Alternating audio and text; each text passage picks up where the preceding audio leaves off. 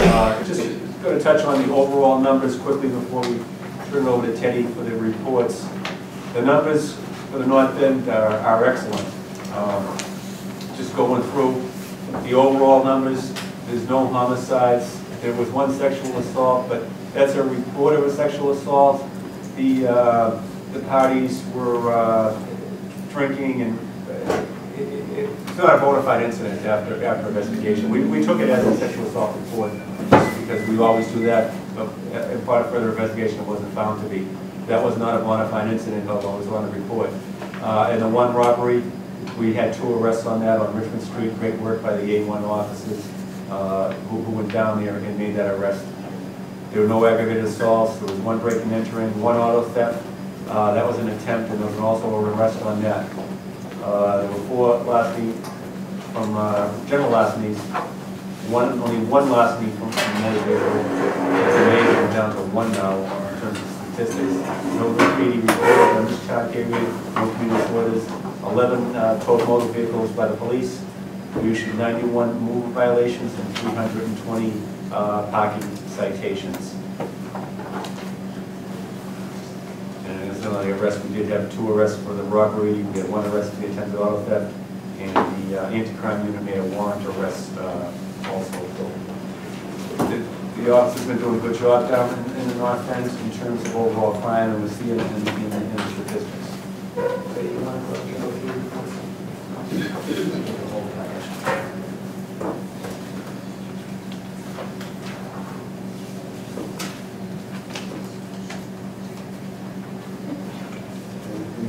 captain said the sexual offense was parties known to each other, and, uh, it was, it was cleared by a non-bona fide incident. The robbery was, um, uh, 96 Richmond Street on the 29th of, of uh, May. It was a, um, victim, the, um, actually, the suspect, he stole the victim's iPhone. He, they stated they had a gun, none was recovered. The phone was recovered and the individuals involved were arrested. It's Uh, ninety-six Richmond. It was 96, that's in between um, North and Hanover. It's right by the old school building, Ninety-six, I thought those were the low numbers. No, that's high. turn around Yeah. at the corner of North. Well, I know, but across the street is the jog park, one oh eight. The thing in is 96 Richmond. Yeah, that's where the jog park is. I I think they actually grabbed them on Hanover. Yeah, they got 'em on right They got here. Richmond, I think, they went on the Hanover. Right, They got them by the uh, corner store, that's where By they the corner were. store was where the arrest was done. Oh, Were they local kids? No, they were from Dorchester, Dorchester. uh, Mattapan, Dorchester. Mattapan and Dorchester. Uh, They were not local kids. We've seen these iPhone thefts, the most common thing stolen No, in no, no, District he was One on his is an iPhone. oh, and the iPhone. street. They Yeah, steal he's these walking with phones. his iPhone. Oh, These phones are expensive. They're worth two hundred dollars on resale. You don't have two hundred dollars usually on your person if they took your pocketbook. These things are expensive. Walking They steal them. They you. steal them. No, walking. They're gonna try to do something that they, they sell them, like they want the companies to make something that they're not gonna be. Right, right. They've been working on that for a while, trying to say that they can't resell these phones, that they have an electronic serial number, and that they can't restart the phone like they've been doing. So that's something that law enforcement's been pushing, so they don't do that. Uh, We have it here, any, all the major cities are having the same problem, unfortunately, with these uh, cell phone thefts and robberies. So it's, it is an issue. Those are the main things they look for. Because it's the Apple, I mean, that's the key one, the, uh, the iPhone that they seem to be taking. Do they tend to go after people who actually have the phone out? Yes, ye- yes. It's- As opposed to They see the phone out, and, and- and this one was unusual because it was four twenty in the afternoon, very unusual that it's usually later at night. But I tell people, because a lot of them are around areas where, say like the Boston Common or the downtown crossing later, later at night. So would you walk around with two hundred dollars in your hand, waving around? That's what you're doing with your phone, when you're using it like people do, and they're texting, and you just, we all, especially young people, I just always have that phone and they're doing everything with it.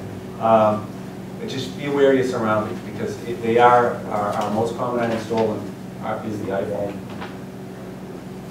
The, um, E, it was at one twenty Fulton on May twenty-eighth. Uh, basically, it was an attempt, you know, the door, front door was damaged to the apartment.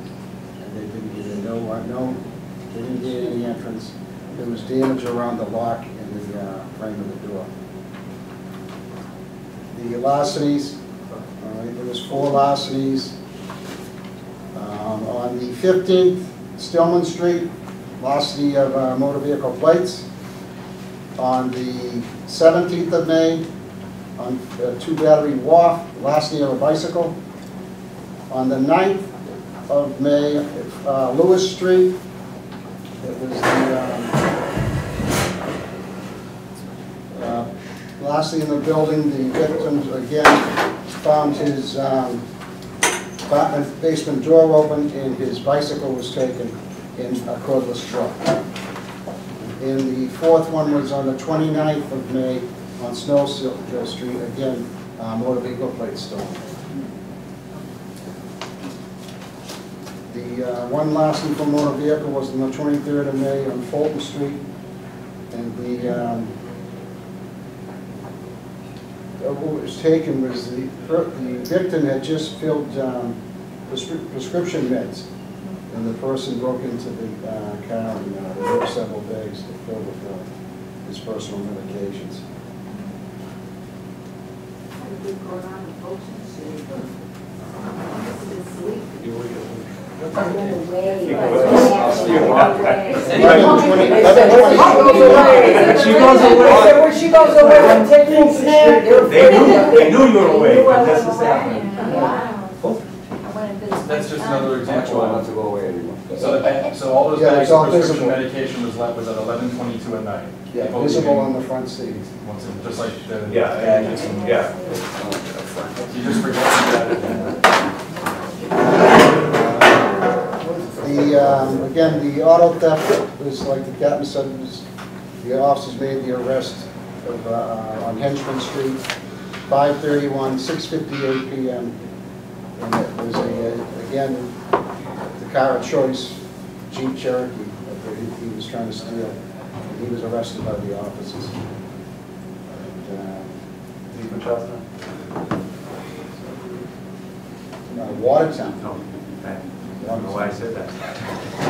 Nicole, what- Uh, Yeah, actually, Nicole Kathy, wanted me to ask that. uh, by knowing him, he was originally from, he's originally Charlestown. The Former Charlestown resident. And that's it. Now from Fulton Street. Yeah. That's it for the That's it for the reports. You know what, I, uh, it was on the news today, I I figured I'd mention it because it's causing a a bit of an uproar because we go to uh, school tomorrow. There were 15 letters, uh, white powder, they weren't white powder letters, but they threatened a uh, weapons of mass destruction incidents in in the Boston area. So just, these letters came from Texas, it's happened in other places around the country, now they picked Boston to send them. They're postmarked from Texas, they're threatening letters, we received, uh, well, Charlestown Highway received one, I think the first one, and then we found out total, I think, 15 letters. There are no, uh, there's no uh, material in them, there's no ricin or any anthrax, or anything. People are getting nervous because they have to send their kids to school tomorrow. So we got a lot of inquiries, but nothing was found inside the letters. But they, they are threatening. Any of the Northern schools get letters? No, not, not, no. I was just checking with them before I left. We do have the uh, Joint Terrorism Task Force working, and the FBI working with Boston Police uh, on, on these High school. Maybe both, both. Uh, But, yeah, the O'Bryant School, Charlestown, High, I'm sure the press will have it all in the paper tomorrow, all the lo- locations. Yeah, the Eliot did not get one as of, uh, well, not reported yet when I left the police station fifteen minutes ago, but there were a lot of them, unfortunately, some targeting our, our schools. And again, uh, you know, we were in the news from, from a terrorist attack, and now some not, probably in, uh, sending newsletters out, uh, it mentions Al Qaeda and all kinds of stuff, and, you know. They typically agree. Yeah, yeah, I mean, I saw one, uh, you know, a photocopy of one another, it's just, uh, you know, and I think I'm really on that. In the meantime, you play fifteen schools.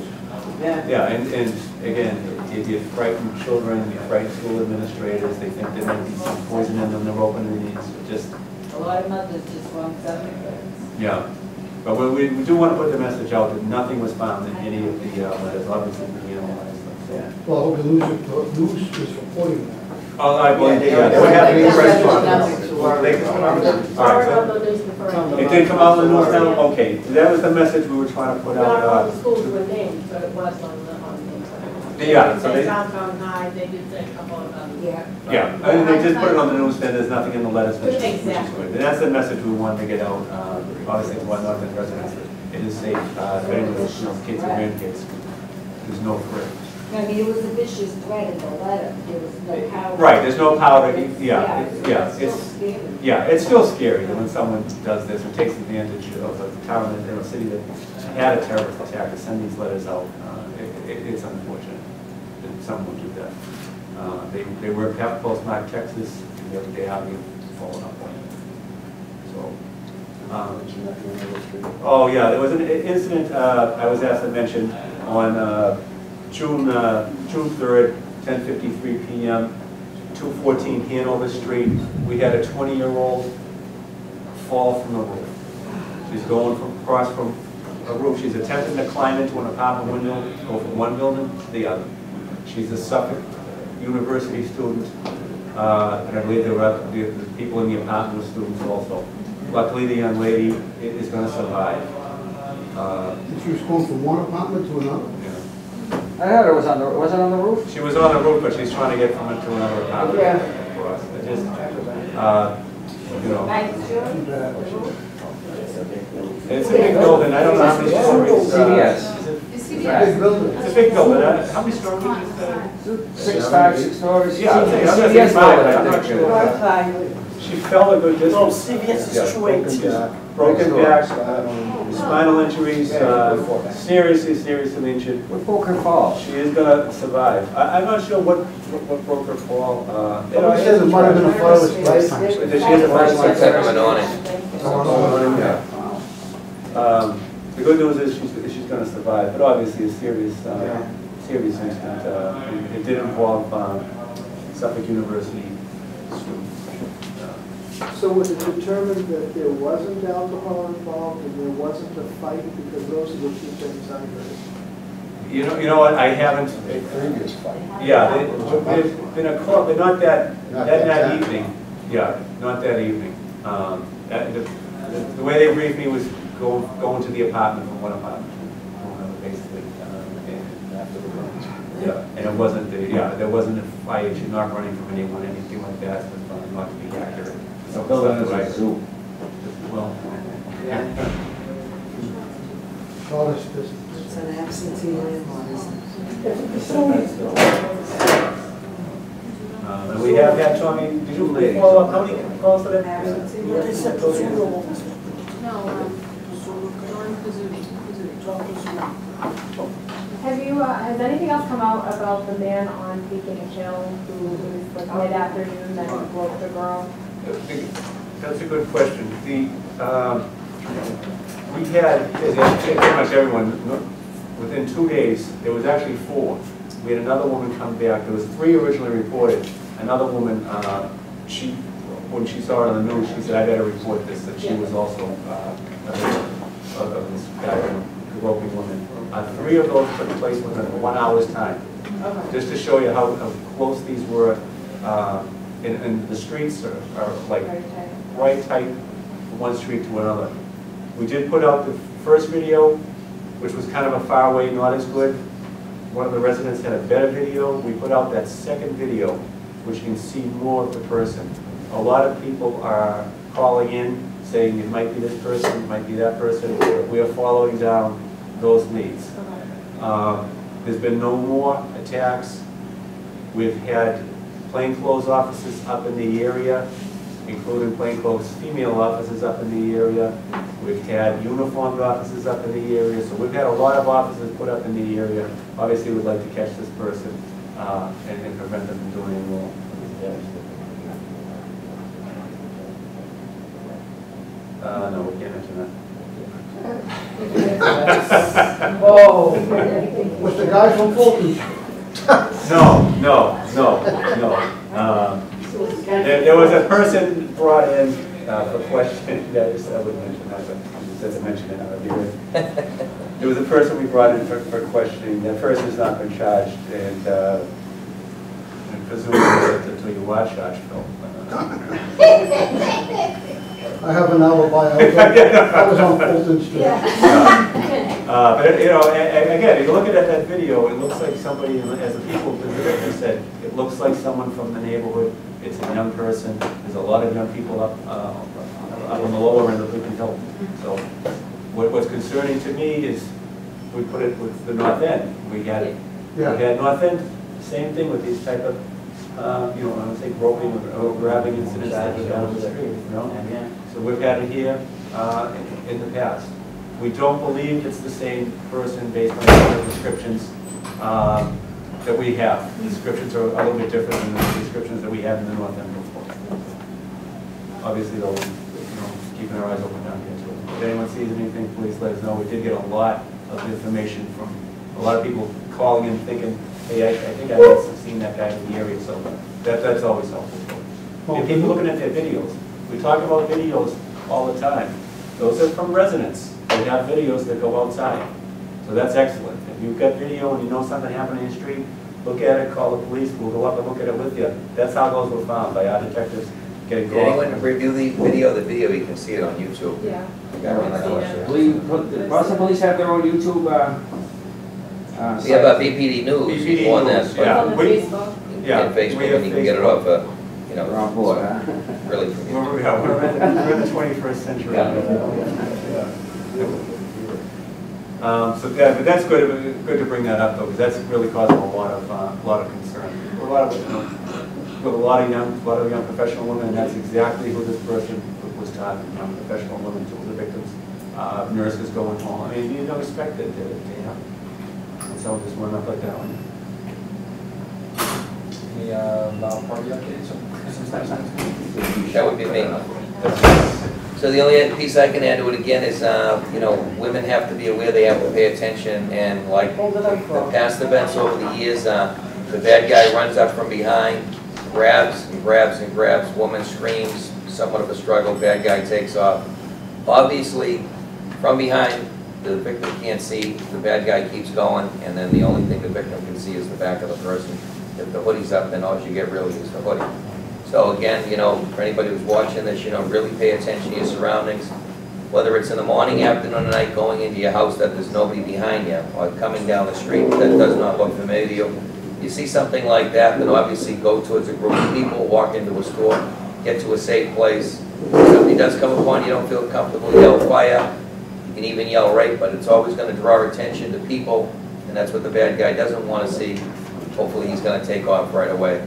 And most importantly, if you can get any description, even if you are paying attention, at least you get that first view of that person coming down the street, that's what we need.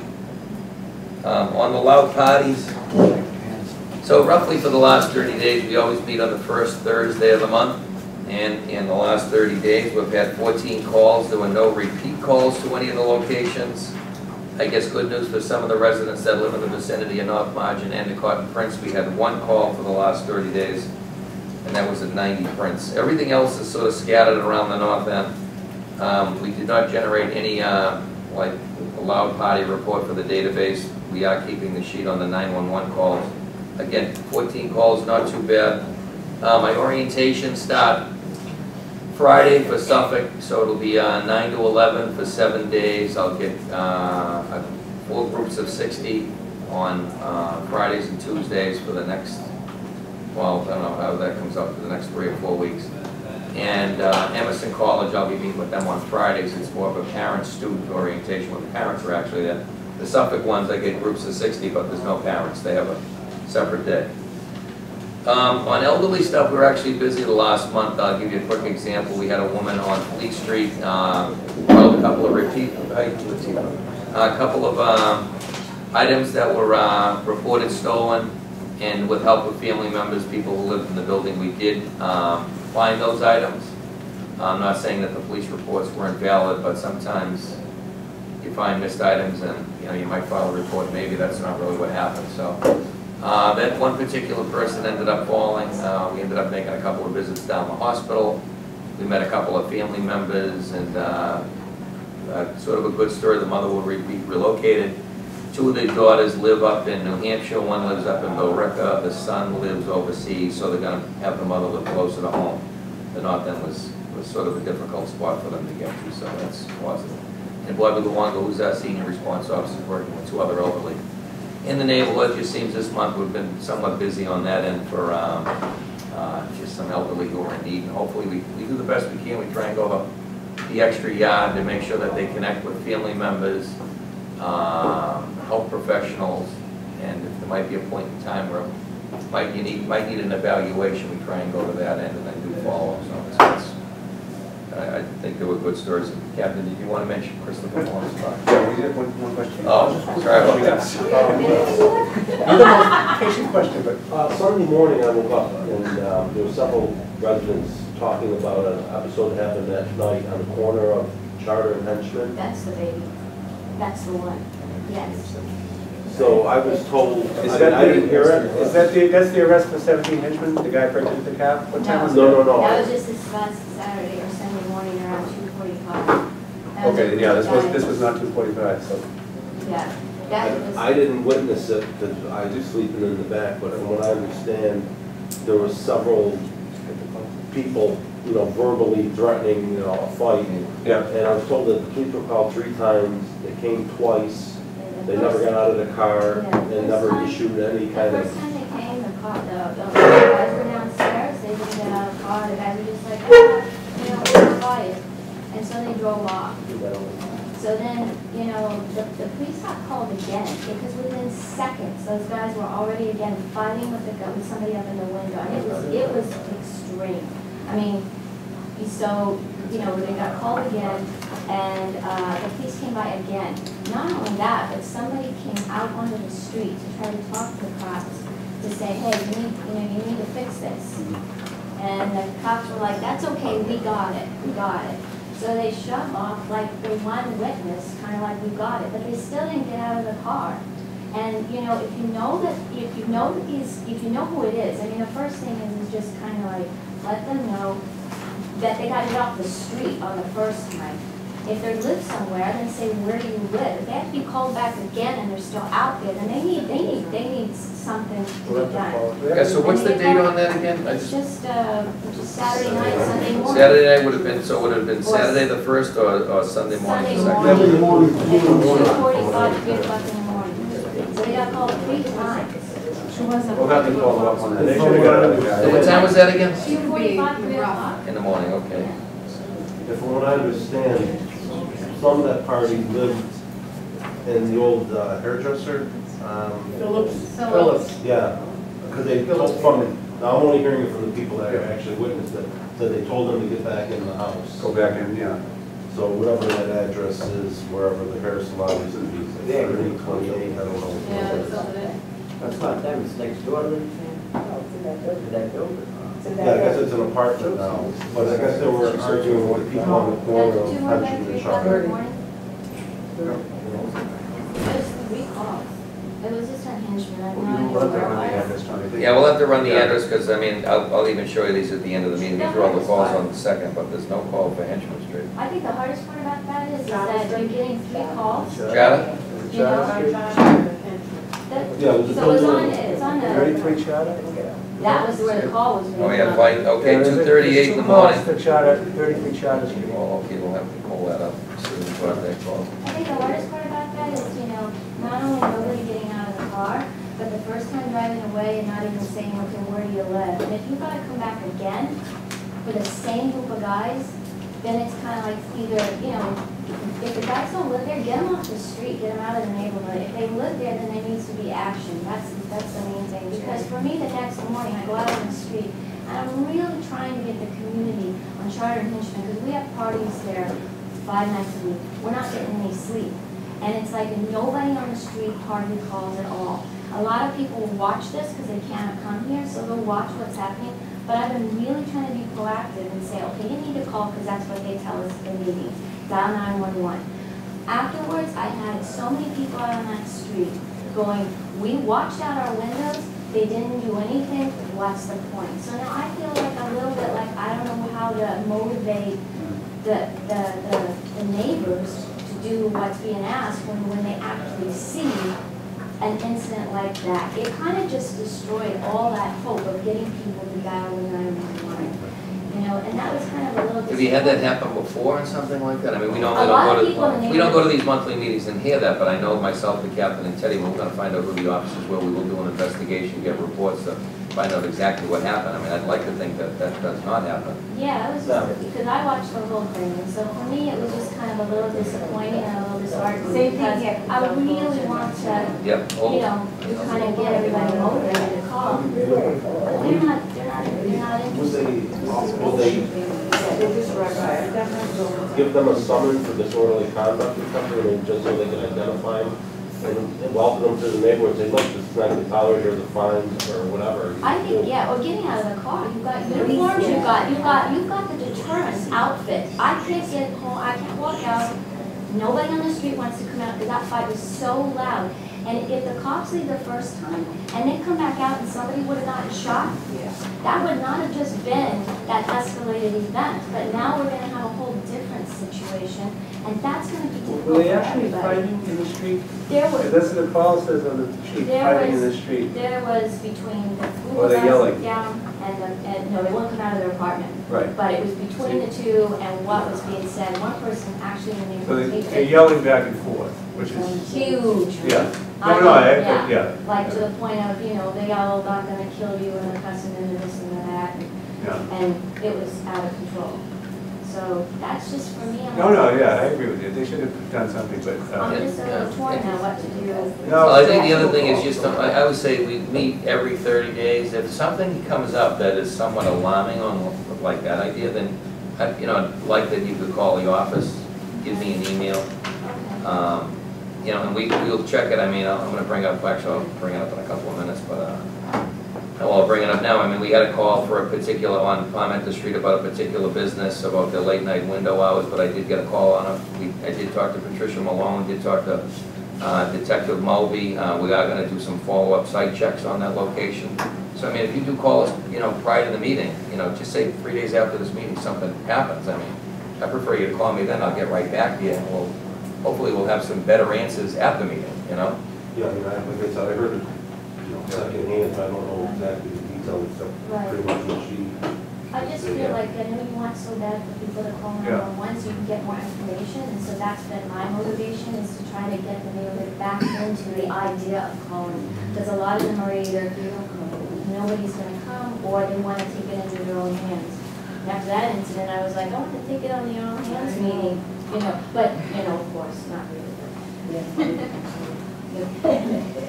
so I just, uh, yeah. that- From what I what understood though, from the people talking, that ground floor apartment that's on the corner of Charter and Henchman, and I think the door opens on the Henchman, has always been a source of, uh, concern. Well, we'll we'll definitely do a, s- we'll do a site check on that, and just, Yeah. while we We can continue, what- I just gotta see how many calls we've actually gotten on Henchman from midnight before to see if people have been calling. Yeah. I'm gonna go back right to the beginning of September, so we'll see if any calls did come in. Uh, the woman in the back, Yes. Henchman are you new? and charter have obviously been a problem. Many years ago, they had a band literally playing on the rooftop of Henchman and charter. Now, what does this tell me? I don't know about you people, but what it tells me is this particular area has been out of control for many, many years. Live band on a rooftop, no permit, nothing. how many years ago was that, Marie, just to let us um, know? I'd be lying to you if I had to give you an exact figure. It could be ten or fifteen years, Oh, that's regardless what it is. Oh, that's a- Fifty, the bottom line is that particular area has been a problem and I would have to venture to say it has to be an absentee landlord for this to continually be happen, because I know it could never happen in my building in a million years where I live, it could never happen. So people only get away with what you allow them to get away with, and this has been going on. And the question I'm asking is, who is allowing this? That this has been going on for years? That's what I want to know. I don't think enough people call. I, I, last year, I saw, there was a party on, on the corner of uh, Cooper and Salem, dirt floor. four thirty, windows open, louder than I can imagine, and, and I was the only one that called. Yeah, that's what happened. It was insane. Unfortunate children. And the grandma lived downstairs. It's hard to get people to call. She was afraid to call. Yes. Then he- Well, we, we, we can do a flyer drop in the vicinity of Benjamin and Child, give, put up a nice flyer, reason why you should call. Yeah, that's. Most people think you call nine-one-one, it's an emergency, and that's not the case. We take seventy-four thousand radio calls. We take seventy-four radio, thousand radio calls on this district, eighty percent of them are service-related calls. It's for parties, parties, most of the calls we actually get are homeless on the eleven areas that we cover. But seventy-four thousand radio calls, eighty percent are service-related. It's not that nine-one-one emergency where, you know, like you see on TV. It's quality of life issues. Most of the issues that we have down here, quality of life issues, and those are the calls that we get. But we, we will, we will go to that corner apartment, Charter and Henchman, Yeah. knock on the door, and we'll see what's going on there. Get, uh, At least pay them a visit and say hello with the police. First floor, you said? From my understanding, it's one that opens on Okay. Century. Now, when you do follow up with the officers, if they do say, well, actually, we told these people that lived in this apartment to go back in, would you knock on their door as well, say, look, you know, you're on notice now, this behavior is not acceptable? I mean, they see it from you, it'll be different than somebody in the neighborhood. We give out a warning letter, that's the first thing we do, we notify the building owner, and then we pursue it from there. We like to think the first time out that it'll cease and desist, not that it might come up, pop up a couple of months later, especially if they're, if they're college-age kids. Now, I'm gonna be really brief on this, but for Henchman Street, and again, we cover all the radio calls from midnight to four o'clock, and going back to Henchman and Charter, and I'm not saying the stats aren't the most accurate, but the last time we got a call on Henchman Street was back on March third, Henchman and Charter for loud party, and just prior to that, believe it or not, it goes all the way back to October nineteenth and October twentieth, so we are not getting calls, we need people to call. Us. If you don't call, we do not know about it. I believe is somebody that came to because he really was having, I mean, and I walked with him back. Yeah. And he hasn't been back since. Right, but my point is that we have, these these are, these are all the nine-one calls that we've had from midnight to four, they're not then since the beginning of September. I think, And we've only had four calls, so it sounds like it's an awful lot, but we're not getting. right, yes. I, I agree completely. I think that that's where I got stuck, was just how much work I've been trying to do in the neighborhood. And then after enough people seeing that incident, I think we're back at square one again, at least in there. And since there are a lot, a lot of college kids in that little. Yeah, so we have the apartment now, so we can, we can follow up. So